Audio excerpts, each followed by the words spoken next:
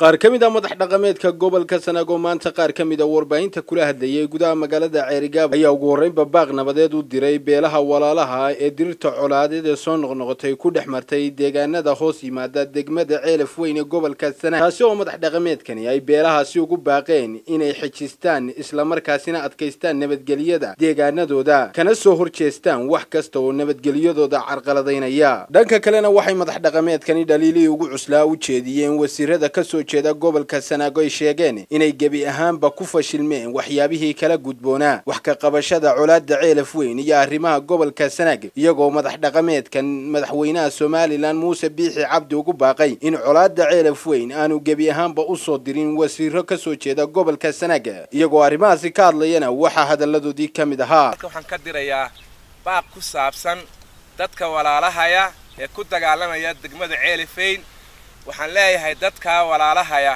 ilaahay subxaana wa tacaala ka cabsada ilaahay ka baqa ballan baa gasheen axdi baa gasheen dhaar baa gasheen kitaabka ilaahay baa gacanta saarteen.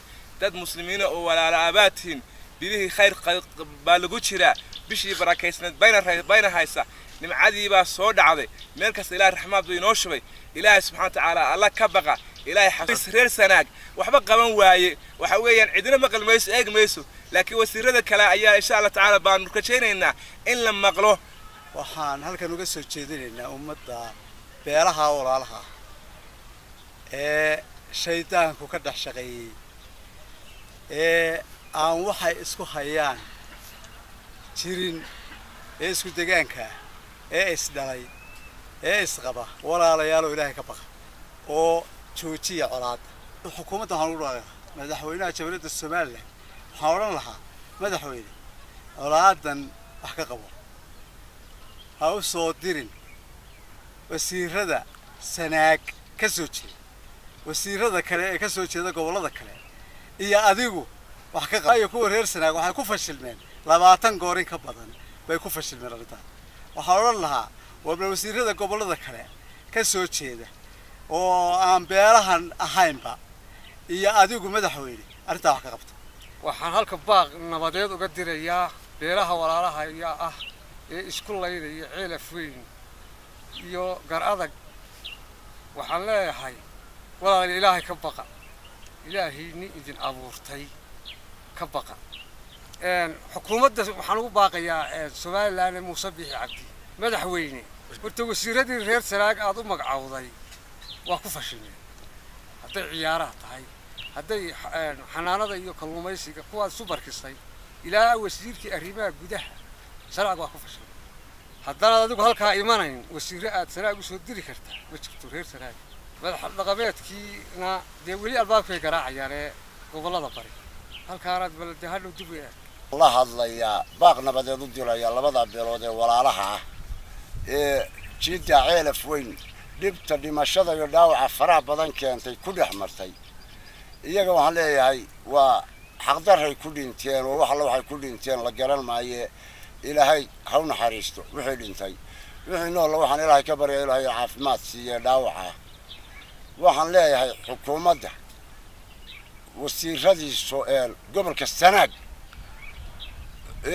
gobolka sanaag waa ku fashilmeen hadday hore u yimaadeen nabadayntii degmada ceelaf weyn uu dambeeyey wasiirkii arrimaha gudaha waxaan leeyahay madaxweynaha somalilan muuse biixi ka codsanayna inaanu u soo dirin wasiir dambe oo gobol sanaag ah jiidda ceelaf weyn.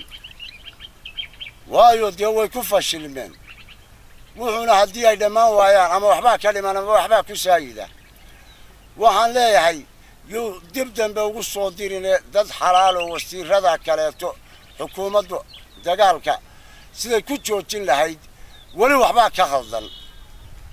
Waxa weeyaan si mugla waxa uga qabato xukuumadda intaasaan leeyahay mid kalena waan ugu daraya guurtidaa joogta sanaag hargeysa joogta ee reer sanaag ee u midaysantae guddidaa ee albaabada laga xidhay iyadana dee xukuumadda waxaan leeyahay dee gobolku wuu midaysan yahay dee waa in iyadana albaabada laga fura aad iyo aad baanu ugu naxaynaa ama ugu dhibaatoonaynaa markaanu aragno.